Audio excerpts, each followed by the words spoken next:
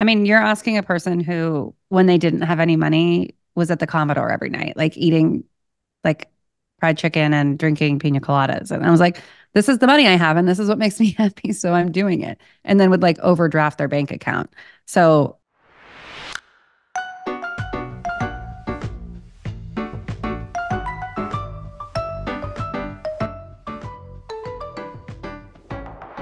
everybody. I'm Alison Roman, and welcome to Solicited Advice, the podcast where I get to do what I love most give advice. Each week, I'm joined by a very special guest and several very special advice seekers as we do our best to solve all of, or at least one of, your problems. Otegha Uwagba is a best selling author and culture journalist who has written three, count them three books Little Black Book, a toolkit for working women, We Need to Talk About Money, and Whites on Race and Other Falsehoods. She's contributed to publications such as The Guardian, Vogue, Harper's Bazaar, New York Magazine, et cetera, et cetera. And of course, she's got a Substack. You can read all about her monthly newsletter, fashion, wishes, dreams, hopes, shopping habits. It's called Add to Wishlist, and it is definitely worth a subscribe. No, I'm good. How are you? I'm great. Are you in your flat? Your new flat? I am. I am. I'm in the kitchen. Um, because it has the best light. Um, and yeah, I can see. Where are you recording home movies from at the moment? Because I feel like I saw you say something about a different kitchen. Yeah, I'm uh, recording them upstate now. So my place upstate, I bought it like three years ago and just have been like working on it. And um, I am going to probably have to move out of this apartment in the next year, if not sooner. Um, and I'm just like, what am I going to do? Like move apartments every, th- it's just like, I was like, enough. And I, I just was like, I couldn't do it anymore. And I also like finding an apartment in New York that I could also film in felt like really tough, like increasingly challenging. And I yeah. was just like, I can't let that be the thing that stops me from moving when I need to move. So when no, totally. But so when you move out of this apartment, the Brooklyn apartment, are you still going to have a place in New York, in the city? But you're not going to be as bothered about it being like a kitchen that you can film in, basically. Yeah, Max is. I mean, we both want to stay here. Like we're we both feel, sort of feel like gently being pushed out of New York, but also yeah. like we have to, like spend less yeah. time here. But both still very much like, well, we want to we want to be here. It feels like a little bit like giving up to move out. Mm. Like, yeah, no, I get that.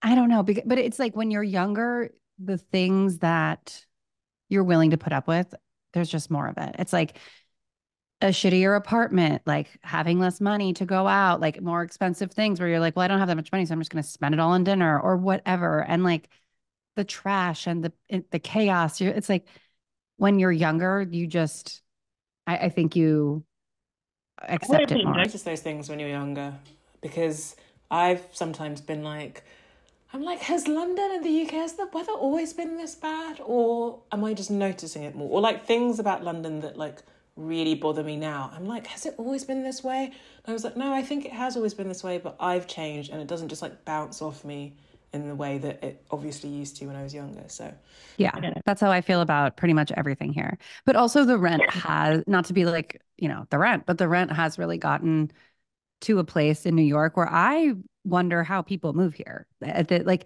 yeah, I'm, oh, the same thing in London. This... Yeah, I'm like, who's moving here, and and where are you living, and like, what is happening, and like. You, I guess it's kind of like LA where people just move further and further and further away from what used to be the epicenter and then new neighborhoods form. And like you know life goes on and you know whatever everything continues. But for someone who's been here now for 14 years i'm like i don't want to move further and further away. I want to stay where i am but i can't afford to live where i am. And it's it gets it's brutal. Yeah i think yeah the rents in london are similarly crazy. I mean i think new york rent has always been like more even when you factor in like salaries but i just feel like or even if you are like making it work it does affect the like fabric of a city. And that's something that i have really felt i'd say in the past like three to four years because pre-pandemic i was like a die-hard londoner like they'll have to carry me out of here in a body bag kind of thing. And now i'm like oh like it just feels like even if i'm like fine like okay financially and like comfortable i can do nice things but like the vibe is off. Like the sit, like I can feel that this isn't like a young city where people have money and things feel spontaneous and exciting and like it just feels different. But I don't know, maybe that's just like a political thing. I'm also penning a lot of hope on our change of government at some point this year, but it also takes years for things to kind of. I just have like a memory of what London used to be like like 15 years ago. And so in my head, I'm still trying to get back to that, but I don't know if that'll happen.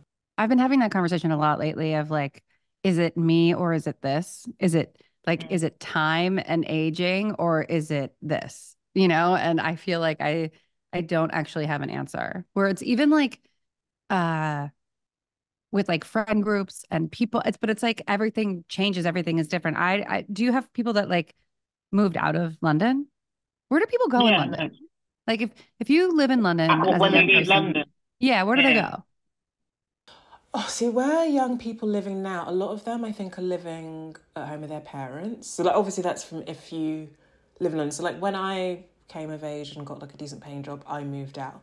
I don't think people are doing that. Like, it just doesn't make sense to if your parents live in London or in the sort of outskirts or near, and you can commute in. Nobody is moving out to pay rent, and actually, people are moving back in if they were renting. Um, I think if you've moved here, like you know, for work or like you obviously don't have like parents in London.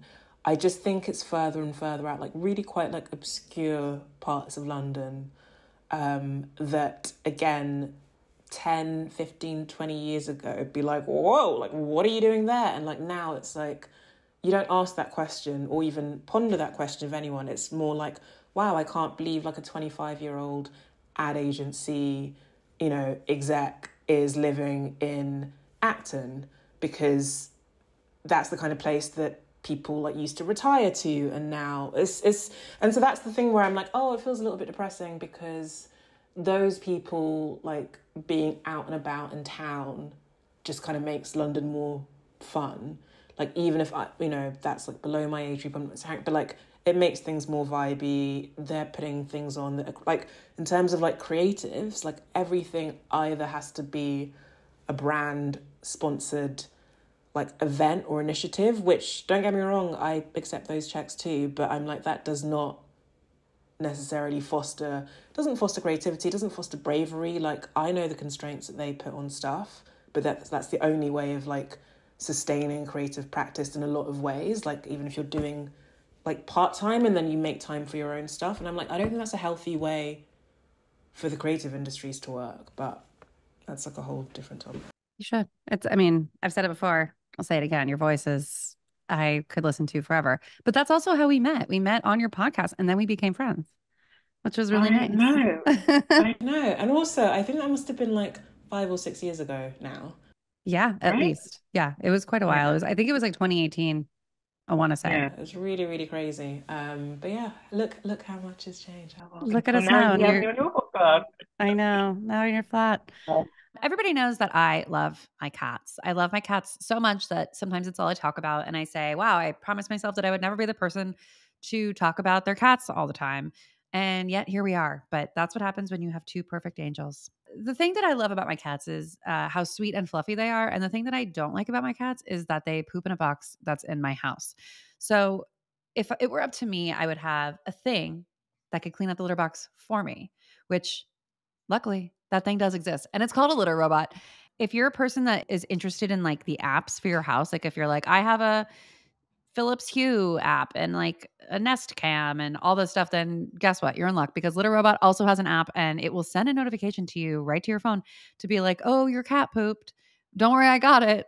And that's a notification that I can get behind, you know? Um, as a special offer to listeners of solicited advice, you can go to stopscooping.com slash advice and enter promo code advice to save an extra $50 on any litter robot bundle.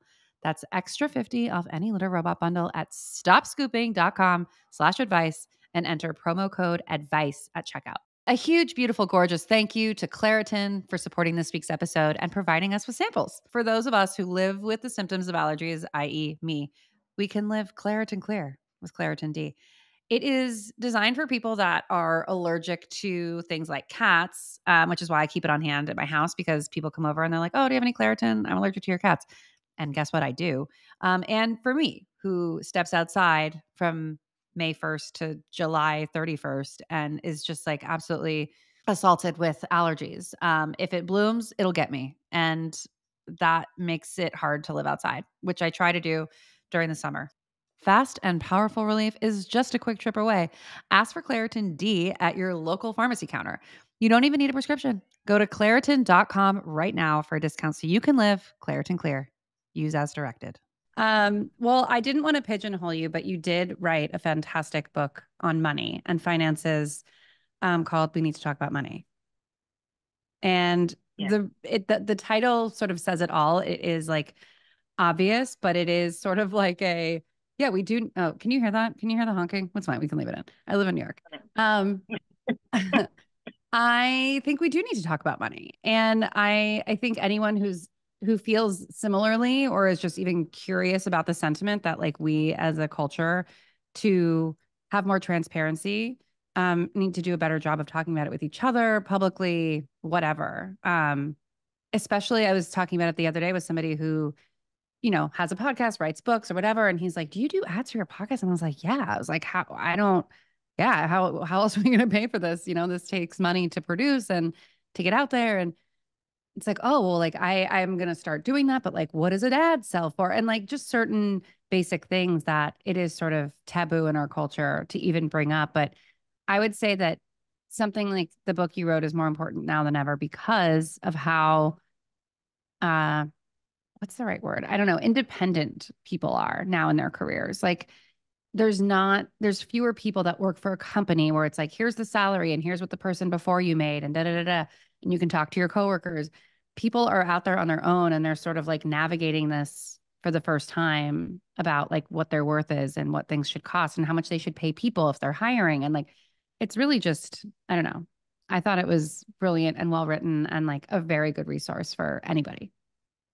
Thank you. I, I really appreciate that. I mean, it feels like a while ago now, but I that book came from a place of anxiety, like deep, deep anxiety um, about my relationship with money and just money in general. And having grown up from a background that, like, you know, like immigrant to the UK and like grew up on a council estate, which like actually isn't far from where I live now. And like growing up without very much money, we weren't like poor. I always I use that word very sparingly. I'm like we weren't poor, but there wasn't a lot of money and there were some tough times. And I think that gave me a lot of anxiety around money and always like worrying about like being without. And I think I only kind of really realized that as I got into adulthood. And I did like loads of like irrational things. Like I think I was irrationally like hard on myself and like irrationally I don't think I've ever been like stingy or tight with other people. I'd be very frugal, like quite self flagellating in terms of how I allowed myself to kind of enjoy or spend money or anything like that. And I mean, but then the book came about because after my first book came out, or like in the run up to my first book, I was getting like all the like hype and buzz, and it's like, oh my gosh, like how exciting! You've got a book coming out, and everybody like, you must be so excited, you must be so excited, and like you're doing press and like a photo shoot. And I remember walking home one evening, and at this point, I was still living at my parents' house. This is in my twenties, and feeling really, really like upset and like anxious about money because I had been, I think I'd been self employed then for like about a year.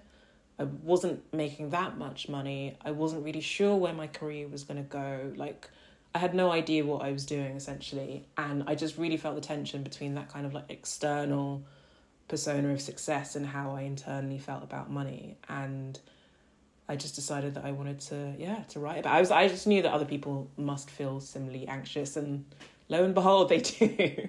Yeah, they very much do. And I bet it helped a lot of people. Um, but yeah, I mean, it's it's like also a topic that I feel like is almost exclusively written about by men. um, just like historically or like they're the expert in something about finances. But it was also just a very curious book. And that I think is what makes for good reading because it didn't feel prescriptive. It felt like, I don't know, good for like posing questions and getting people to think about it. Um, which brings me to today's podcast um, because today we are talking to people who have questions about money, not necessarily like what should I do with it, but sort of the oh, Otegha is taking us on an impromptu house tour. And if there's anyone here who knows what it's like to not have basic Wi-Fi in their place that they live. It's me because I like my well, not only is my street outside constantly being ripped up by Spectrum to just like improve the Wi-Fi, and in doing so cuts out the Wi-Fi, but even after they've repaired it, like I can't make a simple phone call. And I live in like the center of Brooklyn. I live right in the middle of it all. Even when I am upstate, I have better service and a better connection. It's I I think the city is overwhelmed. Well, uh, yeah, I think it's a similar thing here. I think the Wi-Fi in my flat is really bad, but I never notice because I'm just like kind of on my phone and like it just kind of switches in and out. But I've given you the impromptu house tour. Alison, at some point, I have to give you the real house tour. Well, I'll be there in June and we are going to hang out. Okay. So we have some callers that are going to be calling in live, and then we have people that have left us voice and messages for the end. So we'll take our live callers now because they are on the line and they're sort of tangentially related to the topic of finances, um, which my favorite thing about the show, especially when we started doing like specific topics, which we did not do for the first season, is that it's really open to interpretation. And but it is funny how so many things come back to money. So let's take our first caller. How can we help you today? Yes. So my boyfriend and I have been together for about seven years now. And so we've obviously discussed getting married and engaged. And recently he approached me with a question that kind of took me aback a little bit. And he asked how I felt about lab grown diamonds for an engagement ring versus a natural diamond. And of course, initially I was a little offended because I was like, I feel cheap or like cheated. Like I almost felt as if like I wasn't worth a, a real diamond. And to give a little background, my boyfriend is is very frugal. Um, but that's not to say that he doesn't spend money on things that he thinks are worth it, like experiences. When we travel, he knows I love food. So if ever I want to go to a specific restaurant, you know, like price isn't a question. Like he likes to treat me and things like that. But as far as materialistic things, he tends to be very conservative.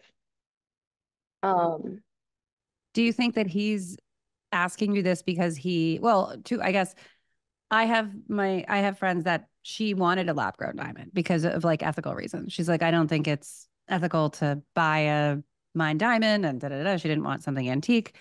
Um, and I think it's almost like a, you know, when like wine, wine bottles started doing screw tops and people thought it was because it was cheap, but it's oh. actually it's like environmentally friendly. It's also like helps the there's something about production. Like there's like a million reasons on why, but the perception is like, well, that's cheap and not as good as a cork bottle or whatever. And I'm wondering like, do you think that this reason is because he feels a way about it ethically or he's like, I can save like a lot of money if I just do this? Both. Does he think you'd also be able to tell the difference? No, and we've we've both done a lot of research on lab grown diamonds versus natural diamonds and there's literally no difference. Like they're exactly the same. You cannot tell. Lab grown diamonds are real diamonds and so the machine actually will read it as it's diamond. Um, so they tested it on a mined diamond and then a lab grown diamond and the machine read them both as natural there's a special like $6,000 machine that you can put these diamonds in, and that will tell you whether or not it's a mine diamond or a lab grown diamond. Well, let me ask you, do oh. you care? Yeah, Otegha, go ahead.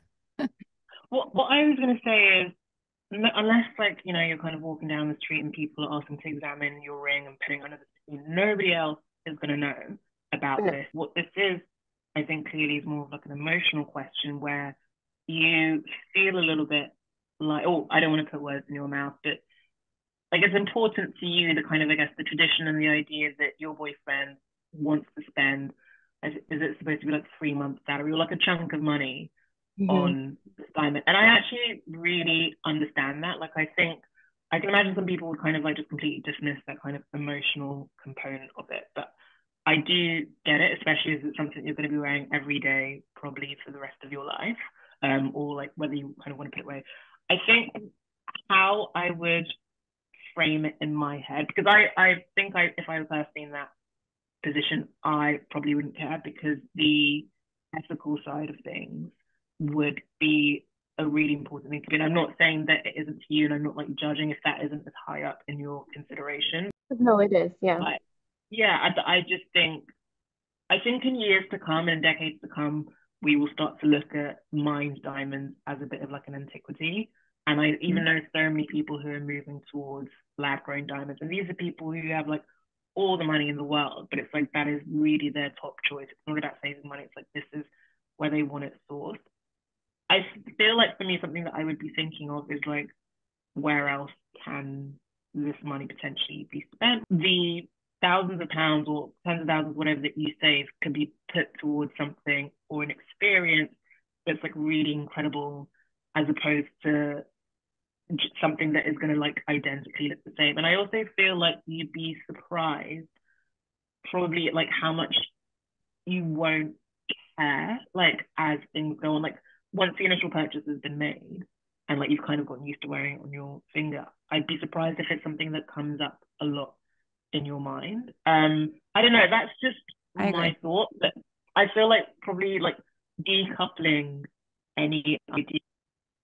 This is like how my boyfriend feels about my work or how much he's willing to spend on me from that, and just kind of trying to make it slightly less emotional conversation might help. Yeah, I've tried to convince myself to, for some reason, subconsciously, I want to put the worth of the diamond as equal to the worth of the relationship. So like if he gives me like a big expensive diamond, like that's what our relationship is worth to him or whatever. But I realized consciously that that's really dumb. it's not dumb. It's but it's it does happen. And I I understand that, but I also understand that like Otegha is completely right that once it's on your hand, you're not going to think about it at all. I think about my ring all the time and how I've like the first like several months, it was like all I thought about. And I would look at my hand and I was like, oh my God, oh my God. And now I'm like, oh, it's an extension of my hand. And like, and I, we had a conversation where I said, I like this design and I like the setting and I like the shape and size of this ring. I don't mm-hmm. care what the diamond itself is because when you go to like look at a diamond, they'll be like, and then there's this one, and then there's this one that's like half a carat larger for $10,000 more. And you're like, and I'm like, honestly, guys, I don't care. And I was yeah. looking in them all and I was like, I like the setting and I like the way it looks and I like the band. That's mm-hmm. what I'm here for.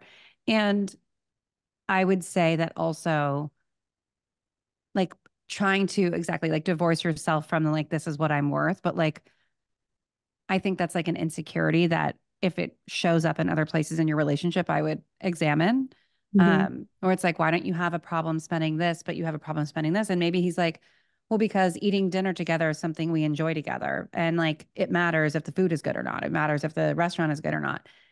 If this diamond is the same and it's 50% cheaper, like who would opt to spend the money really? Mm-hmm. You know what I mm-hmm. mean? As long as you're like, well, the setting is what I want, the band is what I want, mm-hmm. it looks mm-hmm. how I want. And you know what I mean? It's, I think it's like we're also all old enough to hear like the words cubic zirconia and think of it as like a dirty word in jewelry yeah. Because that was like the diamond. I don't know enough about jewels to know what I'm talking about, but I, I think mean, it was like it was like the shitty diamond, right? Like it was a fake diamond, and people are like, "Oh my god, that's so insulting! It's not a real diamond." Mm-hmm. Right? But lab grown diamonds completely different. Are, there are because they are diamonds. Yeah, it's not like a like a, an imitation. It is a diamond. So and also, yeah. I think it's worth thinking about like what the diamond industry has done to like put this value on diamonds because they didn't used to be considered a particularly like valuable gem. And also, like all the names you can think of, to be like they hold like a stock of the majority of the world's diamonds in order to inflate the prices. Like I think when you also think about the fact that there's like a lot of marketing that's gone into mm-hmm. making you feel this way and who really stands to benefit from this. So it's like, okay, well, we could give an extra 20K to De Beers, or we could have this extra 20K within our relationship, within our marriage, within our home, yeah. and put it towards yeah. things that will last for a really long time. Like, I feel like you're the one winning when it comes to that. But it is, I think as Alison said, it's like, Ooh, it that's such good advice. Yeah, that's a great, yeah, that's a fantastic. Don't point. give it to De Beers. Yeah, make it anti-capitalist. Like, man, like you know, just like, but yeah, honestly, like I, I really do get the emotional side of things but I think when you just yeah, I feel like there are like there are probably a lot of other ways within your relationship that you could kind of make you spend money, and then also that your boyfriend does make you feel loved and valued, and just because this thing feels like what we've been told to believe like a woman's worth is in like the size of the rock. It's like it's bullshit. And like yeah. we all know so many celebrities who have like massive rocks on their fingers from like guys. Do you think I just think it's it's really it, it doesn't say anything about like the health of a relationship or the strength of a relationship. It is just marketing. Yeah. There's a really excellent podcast episode from Search Engine, which was one of my favorite podcasts on why are we still it's I think the episode's called Why Are We Still Buying Diamonds? And it's not like a judgy question. It's really just like, why do we still think that they're the best?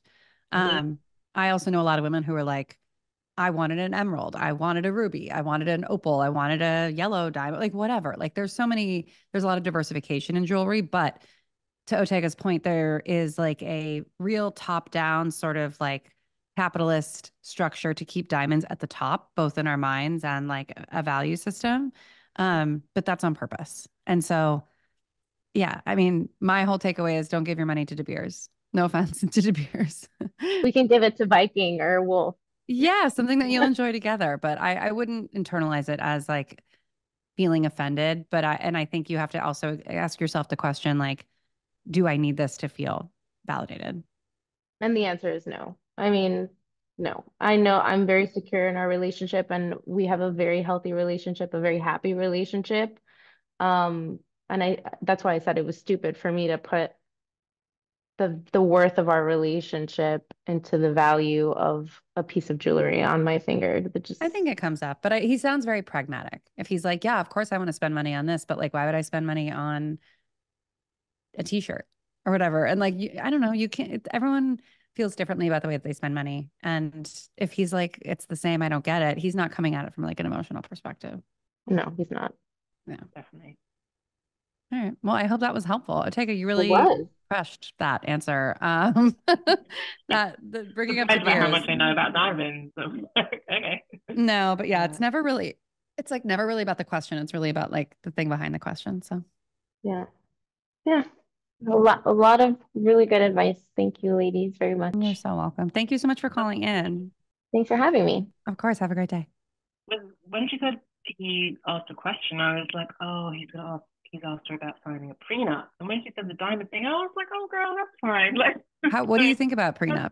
Um, I, I completely understand where people are coming from. I just think you, I was actually talking to a friend about this recently. It's more of a postnup. Um, I just think you should get a professional involved. So, like, yeah. a mediator or somebody who does that, because I think even couples who love each other, like, to the ground, can go about it the wrong way. It makes sense. Like I, I don't know. Like the only thing of value I own in the world now is my flat, which I worked really hard to buy. And I'm like, oh, if I was getting married tomorrow to somebody who I don't know wasn't in that same position, I, I like I feel very. I know, for instance, I will never put somebody else's name on this mortgage, for instance. Like I'm like, mm-hmm. this is mine, and that for mm-hmm. me is like a protection thing not about how much she loved them, but I'm just like, this is my thing. I need to protect it. So yeah, I'm mm-hmm. I'm kind of pro it.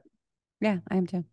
I also just think it's it's not because of what you think about the relationship. It's how wild. I, I don't know how it is over there, but here it's like the man can get anything or like everything. It's like very archaic. It's very wild that it's like you know, basically my a lawyer explained it to me that it was developed so that when if if and when a woman decides to stop working and isn't contributing financially to the relationship, that she has protection in that, right? Like yeah. I'm not working because I'm raising the kids. And so I can't earn money rather than like somebody being like, well, you didn't work, so you don't get anything.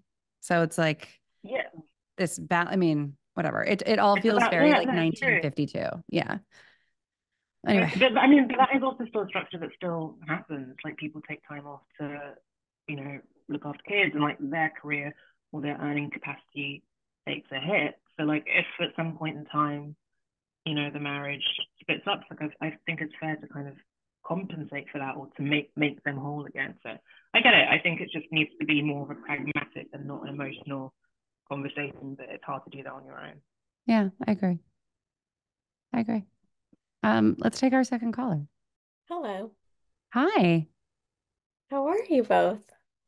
I'm great. How are you? Good. Thank you so much for having me today. I really appreciate it. Oh, we're very excited to take your call. Very. Amazing. Hi, Otegha. Nice to meet you as well. I a large portion of my story takes place in London, so I feel like it's very apt. Oh, Good, cool. perfect. Okay, right. Yeah. I'm very excited to hear this. Amazing. Um, alrighty, should I dive in then? Dive right in. Let's go. Okay, amazing. Um, so the story is about me and my best friend. We met in high school. We're now both 28. I got married last year and she was my maid of honor. My sister-in-law had a lot of ideas and a lot of those ideas were, were shut down by my maid of honor um, because she felt like financially they did not make a lot of sense um, and, and she didn't want to spend money on those things. Um, fast forward a little bit, a week before my wedding, I was laid off. Um, honestly, a blessing. And my wonderful husband was like, How about you use this time to focus on what you really love and are passionate about? Um, so I pursued baking. Um, Alison, very much inspired by you, I started my own Substack um, so I could share my recipes um, with my friends and family. Um, uh, me and my friend decided to take a trip together. So we went to London. And I think, you know, you, you see your friends occasionally, but then a trip can really highlight um, some of the differences that you have. I think that was particularly highlighted on this trip, whether it was modes of transportation that we wanted to take, restaurants we wanted to go to, or shopping when we went to Harrods. And we were walking through the store, and everything that I would pick up just to look at, uh, she would kind of call out on it and be like, oh, you can afford that and I can't.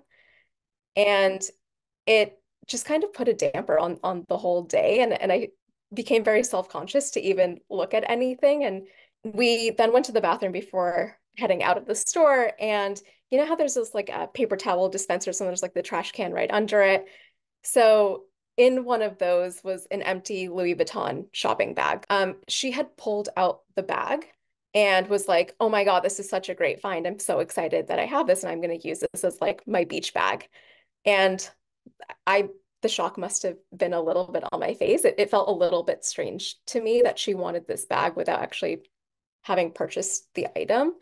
Um, and she kind of wanted to use it as like a status symbol. And I think she noticed my reaction. And when we were walking back to our hotel, she sort of made a, a statement about how she feels like our, our lives are, are sort of diverging and how we're going to be in sort of different places in the next five years. I think, well, finances is maybe the impetus of a lot of the issues we experience on the trip. It's more so how we were interacting with each other. And I honestly felt like shit a lot of the time um, around her and, and just because of my ability to afford things. So yeah, I, I hope that is clear. This is like a very 28 year old, like it all sort of starts to come into focus in your late 20s question of like, are we the same types of people? Are we going in the same direction, whether it's a romantic partner or a friendship or a job or an apartment? You really start to like outgrow certain things. And sometimes you grow with each other and sometimes you don't. Yeah. Um, there's a lot to unpack here in this question. um, Otegha, do you have any thought preliminary thoughts? I've been in that position on both sides of the coin where I'm with someone who has, I guess, more money or has more spending power or has more financial ease than I currently do. And I've also been on the opposite side where I'm the person who has like a bit more money. Um, and I've always thought, or I, I now think that it is incumbent on the person who, in the situation, who potentially, you know, has more comfortable finances, which currently seems like it's you in the situation, mm-hmm. to be, uh, to kind of, I guess, adjust the sorts of things that you do in terms of like the activities that you do. So it's like, okay, if you're, you know, on holiday and you want to go to a restaurant, like maybe not going to like the super expensive place and maybe finding right. somewhere that is probably a bit more comfortable. It does sound like you are, even the fact that you're kind of calling in asking this question, it does sound like you're empathetic. I think that like I always try and extend a little bit of grace in terms of a friend potentially feeling uncomfortable in that mm-hmm. respect and just certain things ignore. It doesn't mean you have to ignore it if they are veering into like passive aggressiveness or like making comments or doing things that like really makes you feel uncomfortable. I do think that is something you can address. It also sounds like from what you've said about your partners, I imagine that some of what is difficult for your friends to reckon with is that an aspect of this kind of difference in financial status currently, I might be wrong on this, is mm-hmm. also in part to do with what your respective partners do. Mm-hmm. that you sort of sum that up, but I also think that the bee in the bonnet about the what do you call it, the dust bag? Yeah, that's yeah. that sort of that feels like you're just mad at her for being a hypocrite. And that makes you feel like she's somehow tugging at your insecurities for like making you feel like you can't be celebrated, which is like a deeper issue in the friendship. But mm-hmm. the fact that you're willing to, she's willing to posture as if like that is her life, but also judge it if it's yours. And that yeah. feels shitty. And that's like, it, it could also just not mean anything. She could also be like, this is cool. I like this bag. And also, I'm annoyed that I don't have as much money as you do. It could be that yeah. simple, you know? And yeah. I think that it's up to you to sort of protect yourself and feel like, okay, I'm not going to take this personally. I'm going to be sympathetic in that, like, when we go shopping or we suggest places to eat or whatever, like, I'm just going to be mindful of the fact that she doesn't have as much money as me because that would yeah. make me feel bad if the situation were reversed, you know? And yeah. then what that means for the future of your friendship, I don't know. I mean, finances ebb and flow so drastically that this, unless it's like indicative of like a bigger friendship issue, will probably just like even itself out. Um, it's uncomfortable. There's like a that famous Friends episode about it where they like yeah. where yeah. he like gets the soup or whatever. And but that to me, like there's friends that I have in my life that have way more money than me and friends that have way mm-hmm. less money than me. And I know that if I'm going out to dinner with the friends that have way more money than me, I will pick the restaurant Okay. And that like immediately sets it on like my playing field. And like there's just only so much you can spend at certain places. Um, yeah. but or like you order what you want. I, I don't know. It's like I also try not to make people feel uncomfortable. Like at this point in my honestly, I'm 38. So it's not the the gulf isn't too large in either direction. I'm not like friends with billionaires. Right. So like it's not that huge. You know, most people we would make around ish the same, you know, within reason. But like I don't I, I also, you know what, you know what also happens when you get older? You have a lot more of an easy time saying, Hey, do you mind if we go somewhere on the lower end tonight? Yeah. Or like, I'm feeling stressed about money right now. Do you mind if we eat at home? Like, I've had so many of those conversations with friends, and that's all it takes. And you're just like, yeah, absolutely. Yeah. Rather than it being like this thing that you don't talk about. Because again, we need to talk about money. Right. um, but I do um, think that this this is like it sounds like you can have your life with your partner and she can have her life with her partner. And while that looks different when you guys are alone, living your own mm-hmm. lives, when mm-hmm. you're together as a friendship, as a couple, as a foursome, whatever, you can just be mindful of that and still have a really good time and still do the things that you like doing together without it feeling like an elephant in the room. Right. Hello, friends, unsolicited advice listeners. I am here to tell you about Airbnb. I love going to the farmers market in whatever city that I'm traveling in. And the ideal scenario is that, like, I can at least once on my trip cook a really nice dinner for myself and whoever I'm traveling with. If I have some friends in the city, they can come too. But it just feels more personal, it feels more intimate. And I've had some of my most memorable travel moments staying in an Airbnb. It's also such a great way to travel with friends because you can get a big house and there can be multiple bedrooms and you can all share your meals together and you can like really be at home at an Airbnb. And the nice thing about traveling is that, you know, you might be thinking, well, what's going to, who's going to stay at my house? I'm staying at someone else's house. Who's going to stay at mine? Well, you could consider being a host and then you can return the favor to somebody else and provide for them the same kind of excellent service that somebody is providing for you. And your home might just be worth more than you think. You can find out how much at airbnb.com slash host. Hello, everybody. This is me taking a moment to thank our sponsor, Seed, for sponsoring this week's episode. I famously don't take care of myself in the summer. I sort of do the opposite, with the exception of two things. One, I always wear sunscreen. I have for years on my face, my body. I don't leave the house without it. And I still take my multivitamin and my daily seed because in a world of chaos, it does feel really helpful to have like one tiny thing that you do every day that says, I care about myself and my body. The difference that I feel when I'm taking seed versus not taking seed, I, I won't get into too many details because we don't need to hear that right now. But I will say that like my whole body seems to function better, especially from within, if you catch my drift. So support your gut health this summer with Seeds DS01 Daily Synbiotic. Go to seed.com slash Alison and use code 25 Alison to get 25% off your first month. That's 25% off your first month of Seeds DS1 Daily Synbiotic at seed.com slash advice. Code 25 advice.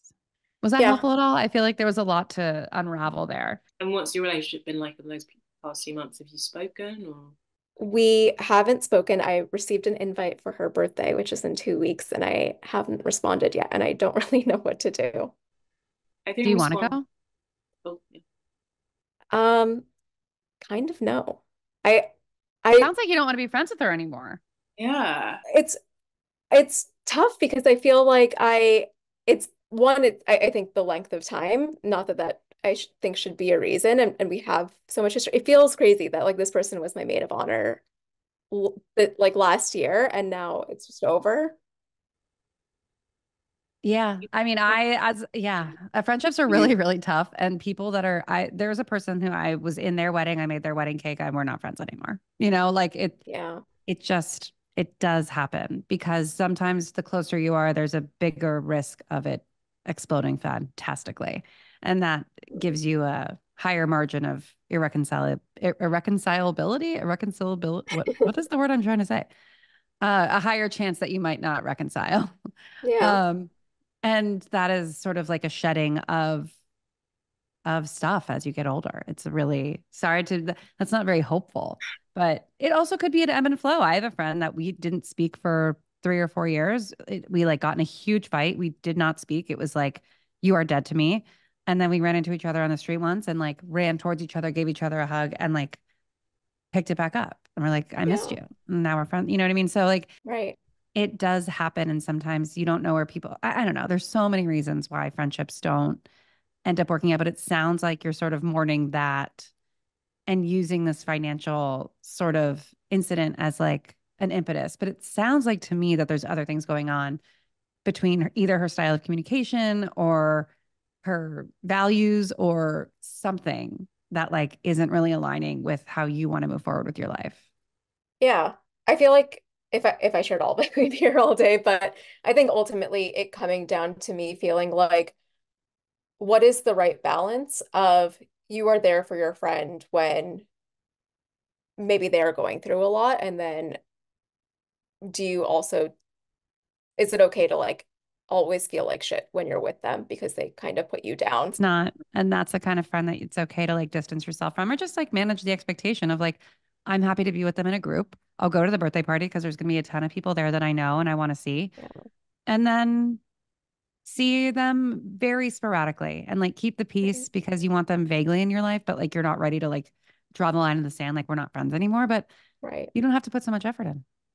Yeah, that's why I was pro you going to the birthday party because I'm like, that's a group setting. It's not like one on one pressure. You're like still being there for the significant life milestone or celebration. And then that's kind of like your kind of like check in for like this quarter, or maybe it's for this year. You know that right. I, I think allow for like the ebb and flow because yeah, similarly to Alison, like I've definitely had friendships where uh I've kind of thought, you know, I think that's it. Like we haven't like had like a falling out, but it's been like, oh, right.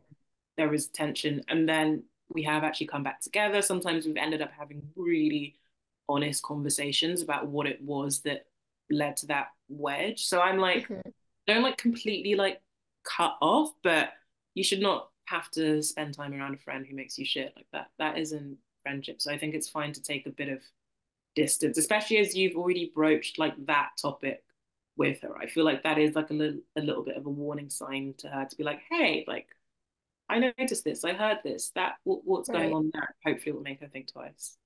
Yeah. I think that's Oh, sorry. I was gonna say, I hope that's a little bit helpful. I know that was like a lot to get through and a, very nuanced. Yeah, that was very helpful. I, I feel like I'm walking away with like the comfort of like I don't need to draw a line in the sand of like this friendship is over. I don't need to declare it. It it is just ebbing and flowing and we'll sort of see where it goes. Yeah. And some of the best friendships ebb and flow. I have people in my life that I consider some of my best friends. Sometimes we talk every day, sometimes we don't talk for weeks. And it's like the security of knowing that like this person's going to be in my life for forever. And then, you know, the opposite where the backing off sort of results in like you being like, oh yeah, we're really just not that close anymore without any drama attached, which is also fine. So yeah. Yeah. the best thing for you will happen. Don't worry. It'll it'll emerge. Thank you. I so yeah. appreciate it. Take care. Thank you for calling in. Bye. Bye. That was so sweet. Um was a lot. So much. Yeah. I was like, okay, this person sometimes when on the show now, I'm like at the end of their question, I'm like, oh, you're 28 you know, like I'm like, oh, yeah. you're just going through it. You are your whole life is sort of expanding, contracting, it's ebbing, it's flowing, things are different, nothing is the same. People move, they change, they grow. It's like a very I forget how uh how that can feel. Um although I still feel like I feel that way sometimes. I still feel that way, but I think it's just for different reasons. But that specific late 20s thing of like money coming into your friendships and like people's lifestyles really diverging and the choices people made, whether it's career or partner or where they're living, all like all of these things really start coming home to roost, and it can be really confronting because up until that point in time, it's like well, we're all the same. Like we've all seen each other, we're all the same. It's like yeah, haven't been that many kind of differentiators between us, and I think yeah, that is. I remember that period of time being uh difficult for me to like mentally process. But yeah, there's also just no precedent. You know, everyone's kind of doing it for the first time and like we're all just doing our best, but oh boy, sometimes that best is not that good. Okay, so now it's time for our chef's kiss portion of the podcast. I always like to say the evening, but you can listen to this podcast any time of day. Um, of the podcast where people call in, they leave their questions, and we answer them as quickly as we can. Um, if you would like to call in, either for a one-on-one sesh or to leave a quick voicemail, you can call at God, if I ever remember this number, I swear to God, 856 502 4816. Um, my husband asked me that if I knew his phone number by heart, and I said no. And he was so offended. And I said, Do you know mine? And he's like, Yeah. And then said what? a different a, a number that wasn't mine. And I was like, Okay, sit down. um, all right, let's take our first call. Oh, hi, Alison Roman. This is Kristen. I'm calling from uh, Peterborough, Ontario, Canada. And my question was Do you ever think about or resent the amount of money that it seems women have to spend on their hair? So that could be like cutting or dyeing. It just seems to cost an exorbitant amount more than uh, males. And do you ever do your hair yourself? Yes or no, and why? Thanks. Uh, yeah, I do huge, especially when they complain about it. When they're like, that haircut cost $75. I'm like, oh, it did? It cost $75? I would do anything to pay $75 for a haircut. I, I feel like you were just talking about this. You were like looking for somebody yeah, in London. I just, I often feel resentful about the amount of, you know, it's actually it's like the amount of money, but also often the amount of time that like oh. the beauty work takes up. I'm like, okay, I have to go to this place and go to that place, and and my solution to it has been, I think I do less now than I did in my twenties. Mm. Like I, I used to be like back to back manicures and pedicures, like every two weeks I was back in there. I basically don't do that anymore unless I'm like really going to like a special event or I'm going on holiday. So I'll like get like a pedi or a mani like a few times a year as opposed to back to back because oh, wow. I was like, I can't just sit here for however long, especially as like with a manicure, you can't use your hands. Um, yeah, it's tough. yeah, it's kind of nice I, though. I, I, like take it as like no phone time. No, I think you know. I think I used to, but I think I just hit my ceiling with it. I genuinely, yeah. I used to love it, and I just hit my ceiling with it. Um, I obviously had to spend a lot of time and money on my hair. Um, especially money because I don't know what it's like in the US or New York. It's probably better than the UK, but it's like as a black woman, there aren't as many choices, and the choice, the only good choices there are expensive. So I'm like, mm-hmm. um, yeah, I feel, I do feel resentment. I feel like that. Oh, is that the kind of answer to the question? But yeah. I feel like something that's like bothering you, just like do less. And like yeah. used to doing less. And then that becomes your baseline and you don't suddenly feel naked without a manicure or a pedicure. Like I'm growing out my eyebrows right now, which sounds growing out. I what know, were they before? I haven't plucked them in. Actually, like, can you see? They look great. I mean, you look you look like you. You don't. Mm. I didn't notice a perceptible difference, but I'm not, you know, in the room with you. I'm, Were you over like, plucking? I felt like I had over plucked, and I just felt like the shape that I had turned them into was like not my natural shape, and therefore required maintenance. Mm. So now I'm on this experiment of like, can are you I, are you using anything like a like a grow gel or something? Nothing. Nothing. Okay. Yeah, and it's like it's been I don't know, I don't know how many, like four months since I like last plucked them, and they're growing back like pretty. For somebody eyebrows since I was like twelve, I'm like I'm quite pleased with their progress. So yeah. I'm, like, I'm just going for like a different shape that's more natural. It looks great. And then yeah, thank you. yeah, I I let one person touch my eyebrows basically, and she kind of just does them naturally. But I overplucked as a teen, and so they're not as full now as an adult as they probably could have been. Same. And like yeah, if anyone is listening and thinking about overplucking, please don't. Um, I worry about the girls that are bleaching because I'm like, that could be irreversible damage to your eyebrows. Oh, and you might want those one day. Yeah. I mean, yeah, as a person so off my radar. Hair, I'm not cool enough to. No, you've seen them like in an Essence ad. Oh yeah, totally. Yeah. But I'm just like not like a real person. I don't know anyone like no one in my exactly. real life. Um. Yeah. Anyway, but yeah. Long story short, we do resent it. I've never done my own hair. I've never cut or colored my own hair. I can't even blow dry my own hair. Um, I spend money on blowouts or someone to like come do it. Anytime someone's like, your hair looks nice. I'm like, oh, thanks. Somebody else did it. My hair, I just, I've never learned. And so I outsource. And yeah, I do resent it, but I also like to look and feel my best. Um, okay, next question. Hi.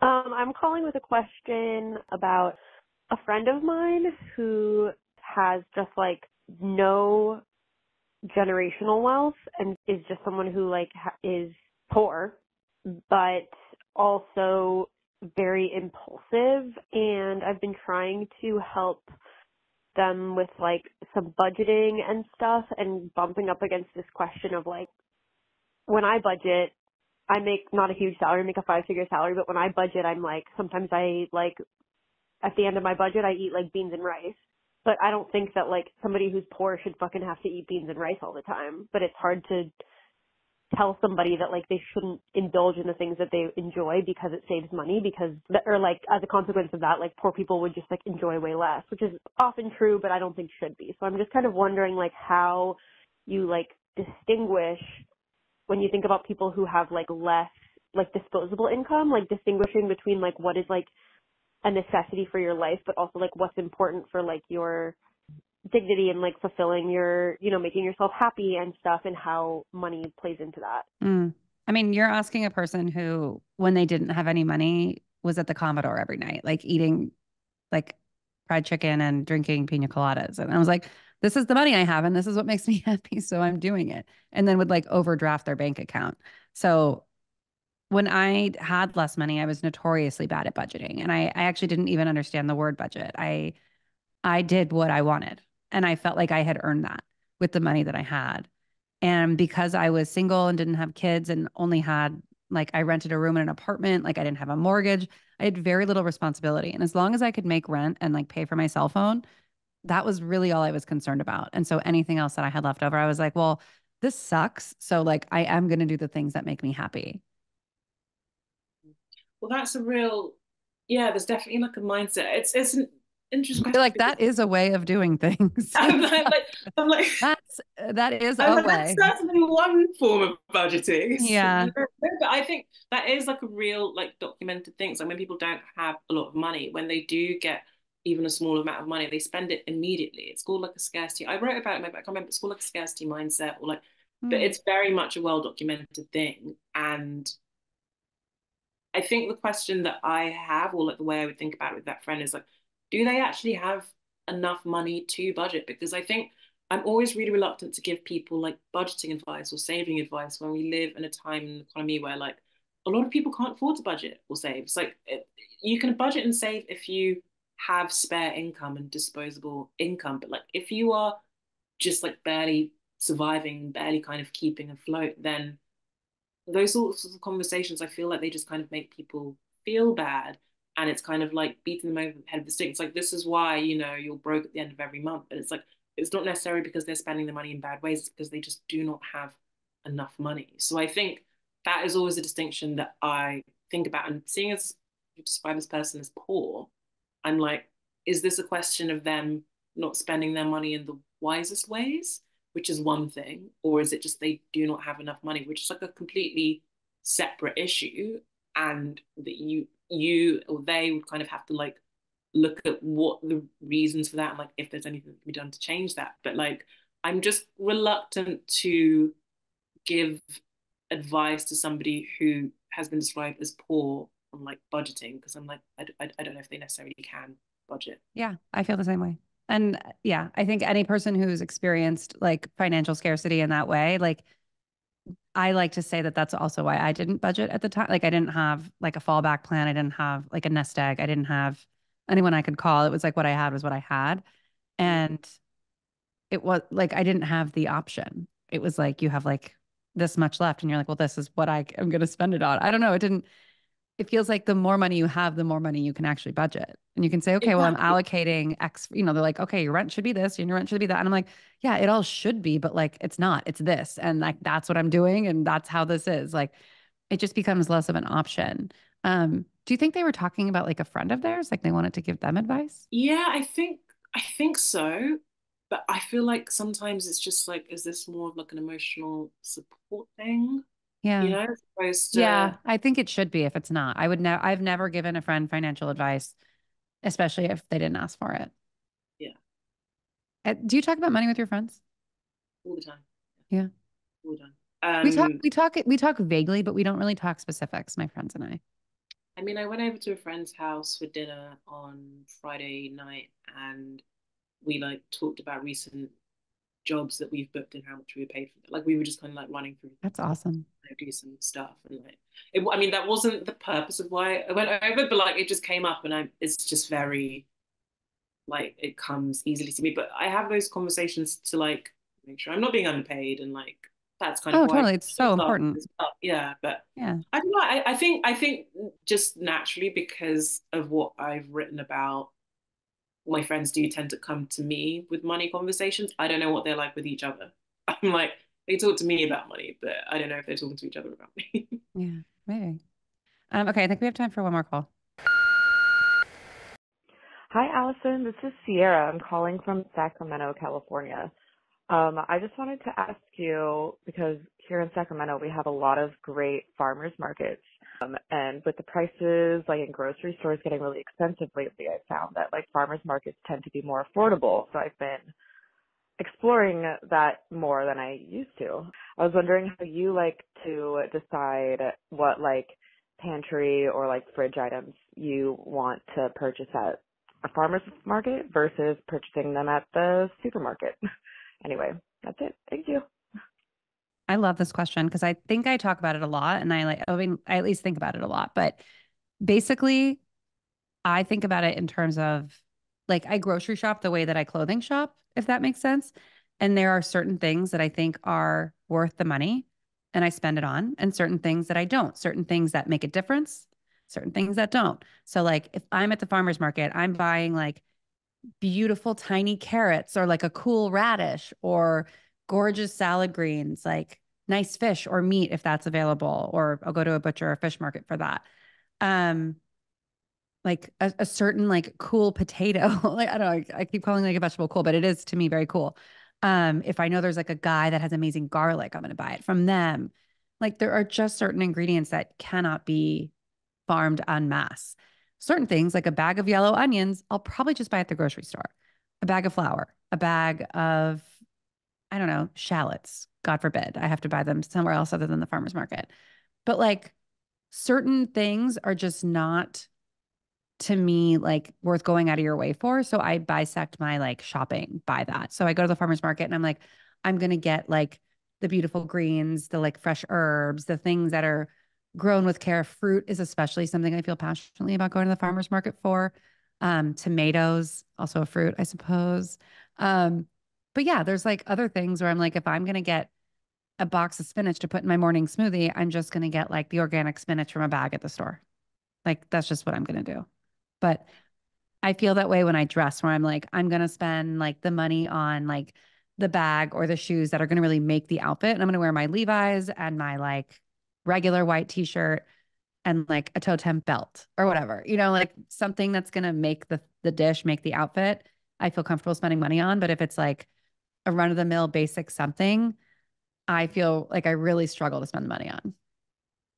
I understand. I think I'm quite similar. I spend my outfit expenditure, the money goes on the shoes. I'm like, mm. I build my way upward from the shoes, nice pair of shoes, and then everything else kind of online. I'm quite curious about the kind of like farmers market phenomenon because we don't like, I think we don't really have that that much no. in UK. Like not in the same way that I get the impression that you have that in New York or LA. I've tried like, to find it when I'm yeah, in London. I'm like, where's the farmers market? Novelty, we'll have like a novelty farmers market that like pops up like one weekend out of like four. Like it's just like, like sponsored by Natura. Yeah. Yeah, it's very like, oh my god, novelty. Have you heard there's a farmers market in town? But like we don't have that. So I just order all my uh, groceries online. But yeah, and I still order a lot of my groceries online, but also like the way like Fresh Direct is where I get my orders, my groceries online, not sponsored, but I have partnered with them in the past. But their produce tends to be really good. So I feel confident that I can order it from them. But I actually find that farmers market produce in New York City specifically is kind of outrageously expensive. Um, and so I do realize that it's cost prohibitive. So I I would recommend that people spend what they're comfortable on. I'd rather you have fresh parsley and fresh dill, fresh whatever in the house than feel like, well, I can't because at the farmer's market it's five dollars a bunch. It's like, well, you can get it two dollars a bunch at the price chopper or whatever. It's like, you know, you vote with your dollars, et cetera, et cetera. But I also think that like spending money on food is not something that people always have the option to do. And I I would say I would rather you buy it from where you can afford it than feel like you can't partake in that at all, if that makes sense. It's very dem- democratic. I try. I, I think about it you all the time. I really do. Um, but now that I and now that I own a little grocery store, I also like have a much better and deeper understanding of how much things cost. Like what the farmers charge me to buy it wholesale means I have to charge X for the customer to like meet my margins to make sure that I can like keep the lights on, literally. And all of that just like unless you're buying en masse, it is going to be more expensive. So like farmers markets, small farms, like they tend to be pricier because they are doing things themselves. They're doing things by hand. They don't have subsidies. They don't have big companies backing them. Like it just, it takes more work. It takes more time. And I firmly believe that we should like eat well and spend the money on the things that like support our values. And if you value like fair wages for farmers, you know, small, small farming practices, things that are better the, for the environment, the animals, um, et cetera, then like that's where you should spend your money on.